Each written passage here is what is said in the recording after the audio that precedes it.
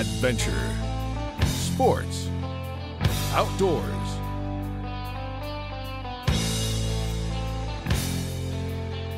With host Harry Canterbury.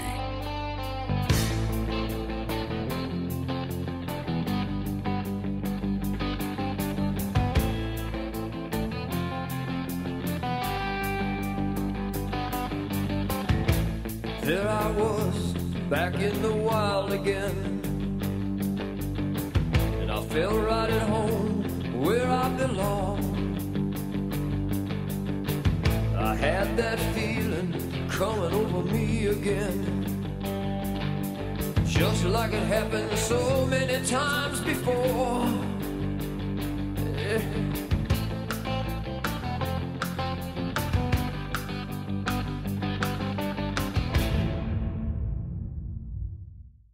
Hi, Harry Canterbury with another edition of Adventure Sports Outdoors. We're coming home pretty quick. In fact, I'll be leaving uh, Monday morning to uh, get back to Peoria to take care of a few things. Got to come back and close the place up, but looking forward to getting some of those great morel mushrooms. We had a fantastic time down here in Florida this winter, didn't we? We did. Got to see my mother and a lot of our good friends. A lot of people came to visit. And fact, we've we, got the- we went boating. Nice folks here right now. Yes. Yeah, we got we got the Tremont girls Three of your here. girlfriends here. Yeah. That's right. They flew down on Allegiant Air. It was great. And as you can see, I have my Florida uh, gun shirt on. Florida is a, a gun happy, uh, you know, gun Pro-gun friendly. state. Yeah, it's uh, everybody's got one down here, and it makes things really safe. Florida has figured that one out, and I wish the rest of the country would too. But stay tuned today for a great show. Adventure Sports Outdoors is brought to you in part by Corsall Lumber, manufacturers of quality hardwood products, buyers of standing timber in Smithfield. Central Pool Supply, everything from pools to pool tables and much more in Peoria on West Pioneer Parkway. Kelleher's Irish Pub and Eatery, located on Peoria's riverfront, open 11 a.m. daily. Eastport Marina, one of the only marinas in its class between Chicago and St. Louis, on Mariners Way in East Peoria. Goodwill, supporting our veterans with job placement assistance, health, housing, and resource referrals. And the General Wayne A. Downing Home for Veterans, all because you shop and donate. And by Lori Feld of Allstate Insurance, conveniently located in Peoria, Springfield, and their new location at 411 East Washington Street in East Peoria. Our thanks to all of these sponsors. It was a great day for a boat trip. So Kathy and Harry Canterbury took the film crew and we all boarded the Spirit of Peoria.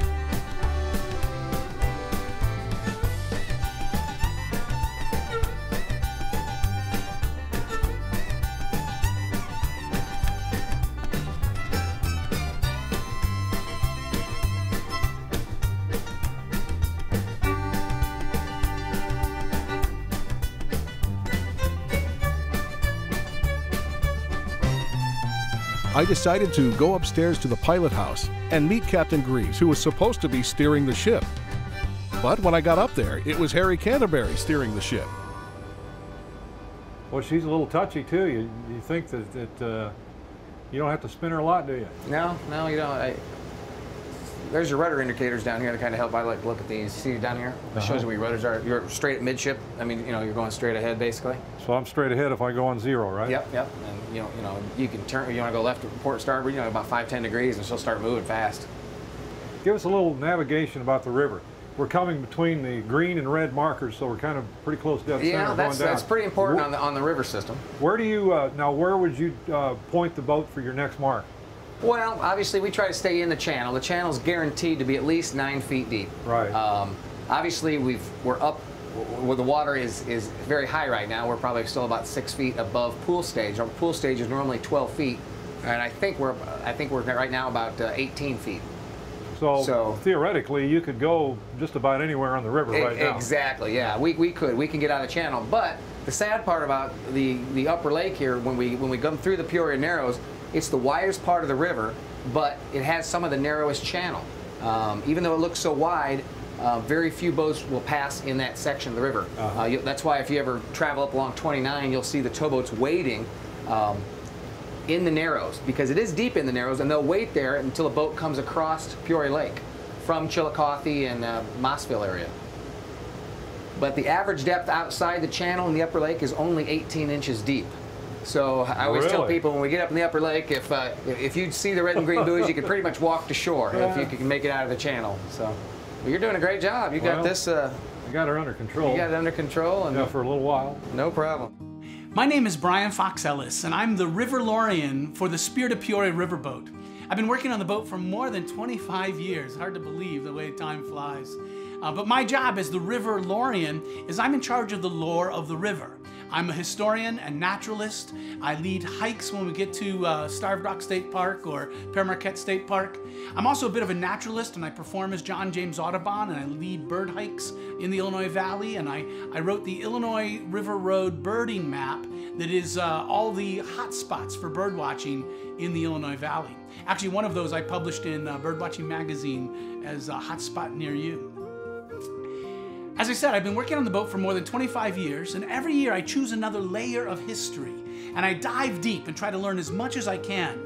And so when the boat is cruising up and down the river, it's my job to share the stories of the river. I often begin with the ancient geology, the fact that Starved Rock is 400 million years old, and we often pass these beautiful palisade bluffs, uh, 300 to 400 million year old limestone. We see coal barges that are carrying coal that was laid down more than 200 million years ago. The river itself is the old remnant of the Mississippi River. At one point, the Mississippi River flowed here in what is now the Illinois River Valley.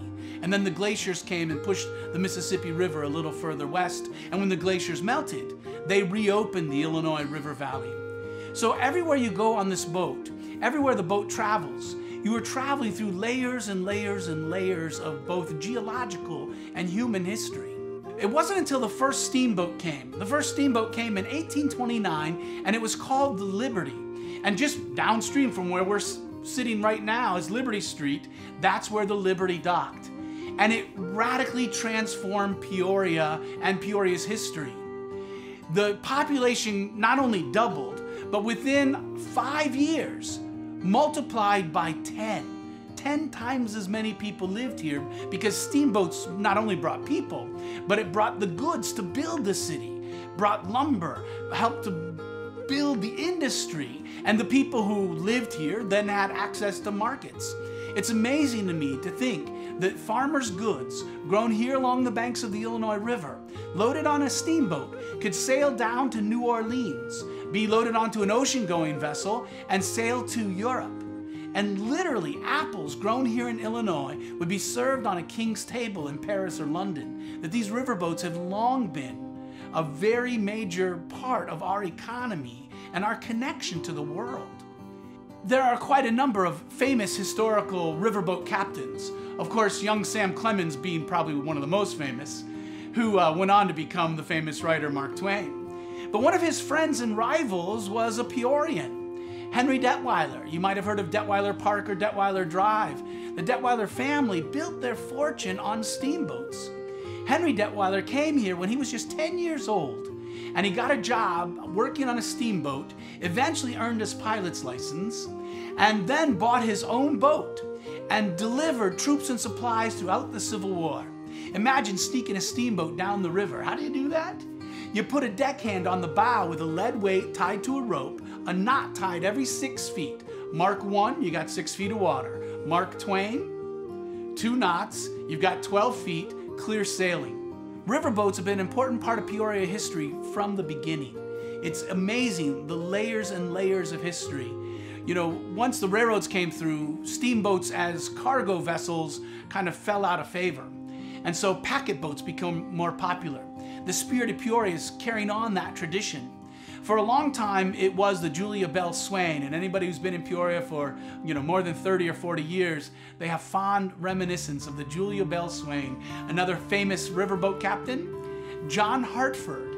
After he made his fortune and fame with Gentle on My Mind, he always wanted to be a steamboat captain, so he chose to move to Peoria so that he could apprentice on the Julia Belle and earn his riverboat license. We're real excited and believe that there's a lot of pent up demand for local tourism. And because we're not a huge cruise ship like a city on the sea, uh, we're a relatively small boat with lots of open air decks, lots of opportunity to be outside. Uh, we have a full season lined up this year, and we've already sold out several of our cruises. Um, we have really wonderful food and great entertainment, if I do say so myself. A couple of fine musicians, and I'm the resident storyteller and historian. And we run a variety of cruises. One of my favorite things are the overnight trips to Starved Rock, where you board the boat in the morning, typically on a Monday morning. Um, we spend the whole day on the river. We'll spend the night at Starved Rock, where often I'll lead a nature hike in the evening and a bird walk in the morning. And then we get back on the boat and come downstream the next day, right back to your car, so you don't have to worry about transportation. We also do trips heading south and one of my favorite, we go to Hannibal, Missouri. That's actually a five day cruise, three days on the Illinois River, and then two days on the Mississippi, with some time in Hannibal to see the sights of Mark Twain, to visit Mark Twain's cave, to go to his boyhood home. And I probably have about five hours of Mark Twain stories in my head uh, that I, I shared throughout the couple of days on the river. We also do a three day trip to St. Louis. And then you can book a day trip from St. Louis to Alton or from Alton to Florence. And of course, with most of our cruises, if you just want a day trip, then you can board in the morning, spend the day on the boat, and we'll get you back to your car in the evening. Uh, we also do a lot of evening entertainment cruises, and of course, the boat's available for rent. Uh, we've hosted weddings and bachelor parties and all kinds of family gatherings, and that's always a lot of fun too.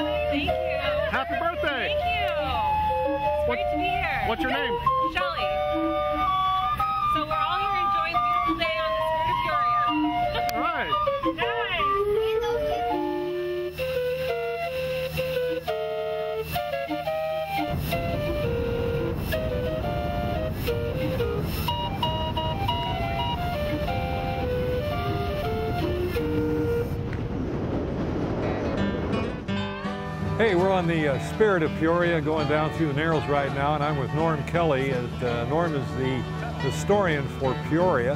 Norm's going to tell us a little bit about Peoria. You know, Peoria is uh, used to be the second largest city in the state of Illinois. It's like number five or six now.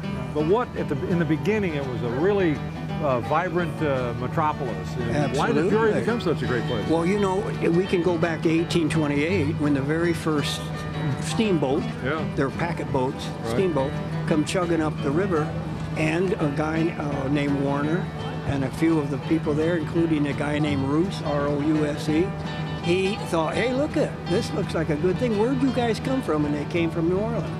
Well, those men decided we're going to make a place for these boats to land, and that's with the first thought, and they did. And so that's what that's what brought the, the steamboat is what really started Peoria going. Absolutely. Because there was no trains, there was no planes, there was no automobiles, there was no roads. No. And the river was the road. It was the world. And and and then in 1835 we became a, a town, and then in 1845 we became a city. And of course, what happened was by then we have nine distilleries. Think of that, four or five breweries. There was another guy who was quite famous in this area, and there's a park named after him. There's a mm-hmm. marina named after him, and his family still owns the marina. It's on the Detweiller Yeah. Trust. Mm-hmm. Do you know a little bit about That Mr. was Detweiller? that was Henry, Captain. Captain Henry. Captain Henry Detweiller, and he plied the waters. And during the Civil War, he was an absolute hero. He was a hero. He would go in and bring supplies and bring injured troopers out, and Peorians read about him all the time. Well, then when he retired and came back here to Peoria, of course, he, ha- he owned all that land. You know, one of the first articles I wrote for your magazine was uh, hunting in old Peoria, and the figures. I know people thought I was exaggerating. Well, this was full of ducks and geese, swans, Keep it up. and everything. They had turtles and frogs and every type of fish and bass and crappies. You know, and it was all all for commercial use. We can hear somebody blowing their whistle over there. Maybe we ought to blow our whistle back too. Can we do that? Sure, sure. Okay, we're gonna. There, we blew the whistle. back so they know we're here. Uh, I'm riding in a, a beautiful place, and my dad, like I said earlier, my father, all he ever wanted to do was be a riverboat uh, pilot. What's the difference between a pilot and a captain? Well, uh, the the captain's always in charge, but the pilot does most of, most of the navigating a lot of times. A lot of times you'll actually get it. They'll put it what's called a trip pilot or a river pilot on um, to take you through a certain section of the river. Uh, you know, before the uh, before the lock before the lock and the, the chain of rocks locks was put on down in uh, down by St. Louis, there was actually a, a pilot that would actually board your boat to help take help help take the river boats through the rapids. They knew they knew the They- river. So they knew the river. Yes. Now, the way they navigated the river years ago is you had to understand where every snag was, where every stump was, Mm-hmm. wherever there was a sandbar, a sunken boat, or whatever. You had to know that by memory. Right. They actually had to. You had to actually draw the, the section of the river that you were going to navigate. You had to prove to the, the Coast Guard that you could navigate that section, and you had to draw it out by hand uh, every mile of that river you wanted to navigate. So you had to know every stream, every tributary, Yes. every every rock and And now with the aid of uh, GPSs and radars and everything, um, that's it's not quite uh, the same to get to get your pilot's license. Yeah, yeah. It's still a, a long venture. It's about a, a, a you, you're required to have 360 eight-hour days um, on a vessel, um, and you have to have some other master pilots. Um, uh, notarize your, your, your license, and then you actually have to go um, to the Coast Guard and take take the, take the test. And uh, there's actually a school you can go to in order to get your license. Now, uh, how old are you now? I am 44, You're 44, and how long have you been doing this? uh, 21 years now. So this has been your life. Yes. Yeah, well, I tell you what, I'm uh, I'm very envious, and uh, you're doing something that uh, you know you're doing something. When you get up and come down here, this is fun. Yes, it is. It's fun. I like going mean, you can't. I mean, this is a good time. This is a lot of fun. Piloting a boat on the Illinois River. I mean, especially if you've got the history background like myself and many other people, you really, really like it.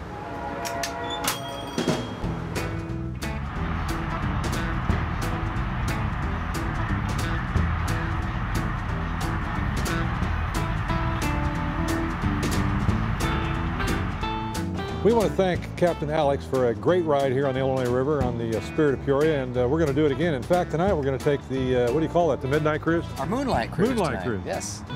Featuring Barry Cloyd. And Barry Cloyd uh, is going to be uh, on our show. We've got a uh, CD that uh, he gave us with some great music. And there's a uh, song wrote about this boat, and you'll get to hear that. But I want to thank Alex for a great trip. And if you're uh, ever in Peoria and want to have a relaxing, great time and view the Illinois River, the Spirit of the Peoria is the place to do it. Thanks an awful lot. Thank you very much. Hi, I'm Dave Barth with your Sportsman's Tip of the Week. In 2017, switchblade knives became legal. You must have an Illinois Firearms ID card and you must be 21 years of age to possess one. Here's some examples of switchblade knives. These are economy models here. This is a side folder. Another one, and we have an out the front. These sell for in the 30 to $60 range. A little winter camouflage here and uh, the, some of the high-end switchblades are Benchmades. Here's a side folder, And most of the side folders will have a safety. Flip the safety off and you're ready to go. And it's pretty heavy spring tension. They make it out the front and most of them have a pocket clip. And uh, that's an example of out the front. And then we have a selection of CobraTec knives. These are pretty good quality knives and uh, at a reasonable price. They're in the $100 range for the most part. And again, it's out the front. If you're in law enforcement, they have a glass breaker on the back end of them. They come with a nice hard case and many different colors and blade styles. So if your hands are full and you need to operate a knife with one hand, a switchblade is a good way to go. I'm Dave Barth with your Sportsman's Tip of the Week.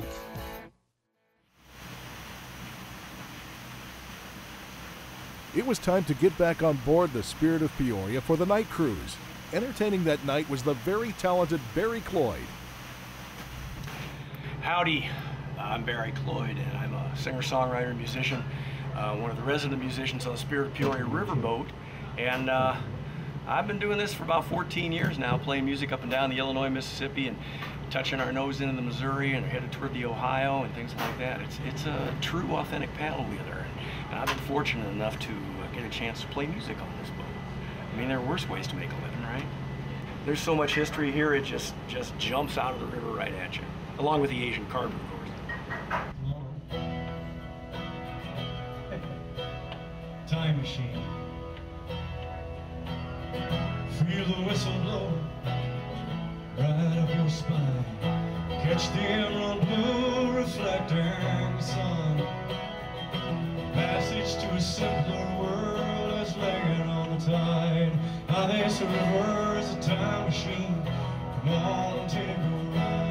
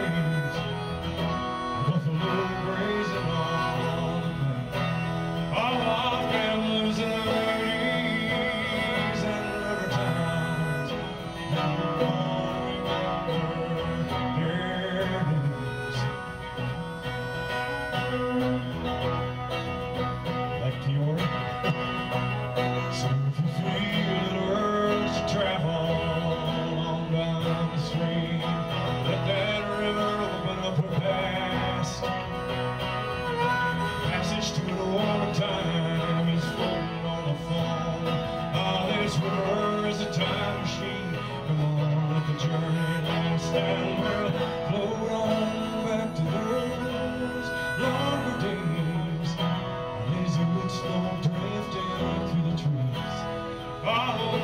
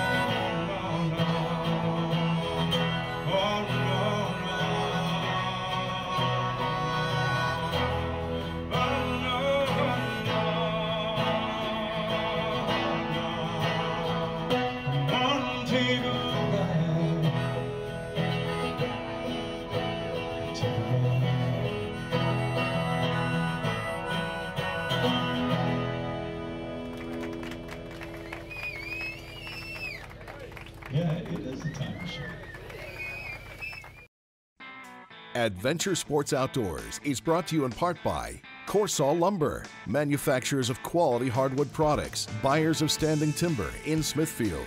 Central Pool Supply, everything from pools to pool tables and much more in Peoria on West Pioneer Parkway. Kelleher's Irish Pub and Eatery, located on Peoria's riverfront, open 11 a.m. daily.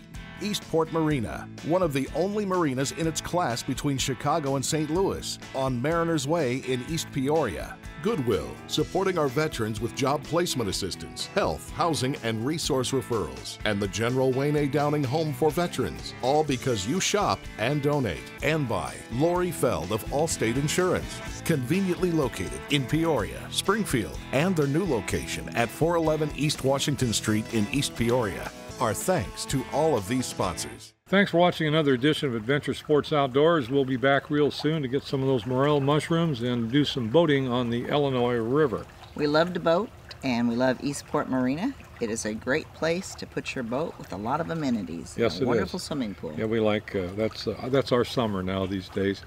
We don't really take too many trips, but uh, we do like to boat on the Illinois River. What a beautiful place. We'll see you next month.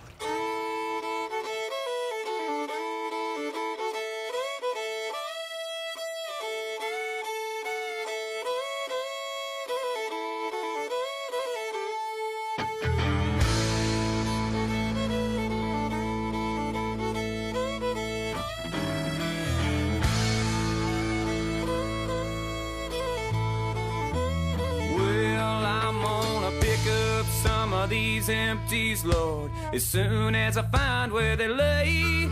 Tied off them jolly and leaving mines on a long hot summer day. And for every day I'm working on the Illinois River, get a half a day off with pay. Oh, towboat picking up barges on a long hot summer day.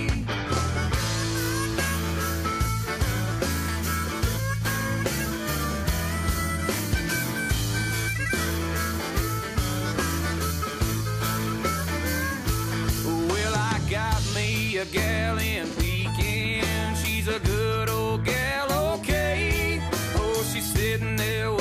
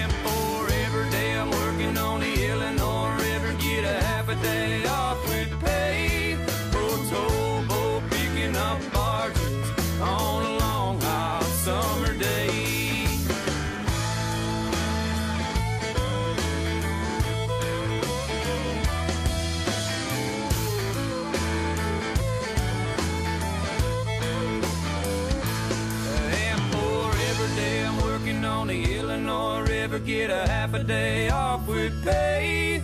Oh, towboat picking up barges on a long hot summer day. And for every day I'm working on the Illinois River, get a half a day